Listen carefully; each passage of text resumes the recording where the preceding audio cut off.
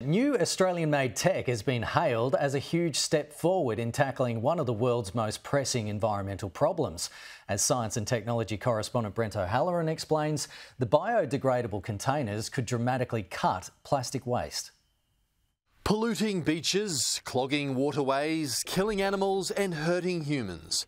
Plastic packaging is a modern day convenience turned scourge. But this global problem may have at least partly been solved in Queensland. So this is a big deal. You know, the new material we developed could have a huge impact on the whole plastics industry. This is their new weapon in the war on waste, a container made with fermented bacteria and wood fibres. The breakthrough is how it breaks down, dissolving completely in soil and in ocean water. We were able to um, develop the material, design a new product, manufacturing at industrial scale, and that gave a really very nice demonstrated product that meets all the requirements. It'll soon be used to store strawberries, but it could replace a chunk of the 400 million tonnes of single-use plastics produced globally each year.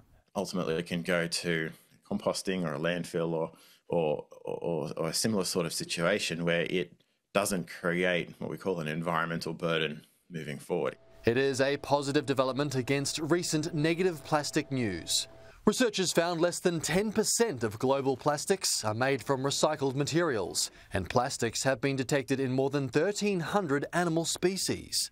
While experts in the US are investigating links between microplastics and chronic diseases in humans, like diabetes and stroke. They can get beyond the blood brain barrier, so you can actually see microplastic accumulation in, in, um, in your brain. Australian officials in August will take part in talks on a global treaty to end plastic pollution.